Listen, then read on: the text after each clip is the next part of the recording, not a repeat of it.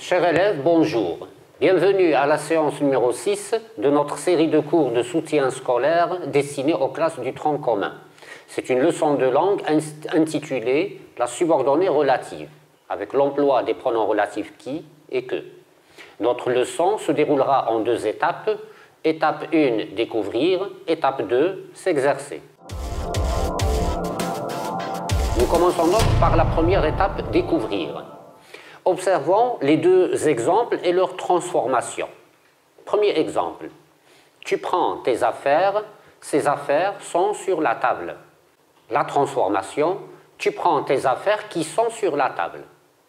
Deuxième exemple, nous avons trouvé le livre, nous cherchons ce livre.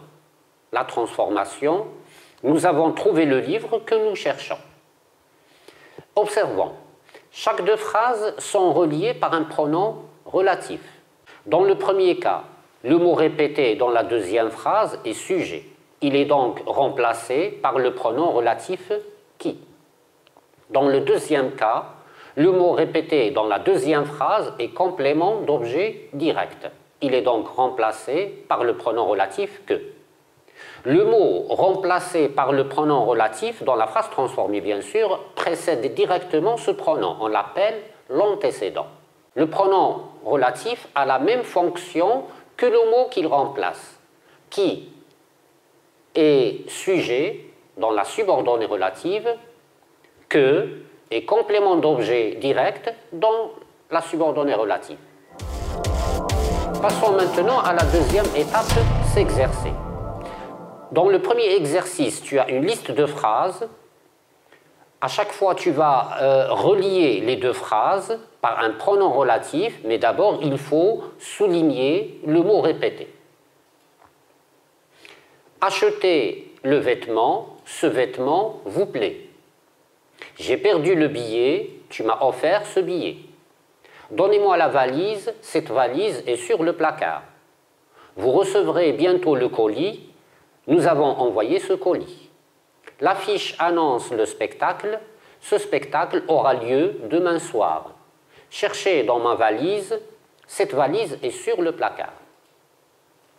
Tu as deux minutes pour faire l'exercice. Passons à la correction.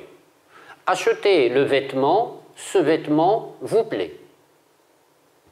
Achetez le vêtement qui vous plaît. Le mot répété est sujet. J'ai perdu le billet, tu m'as offert ce billet.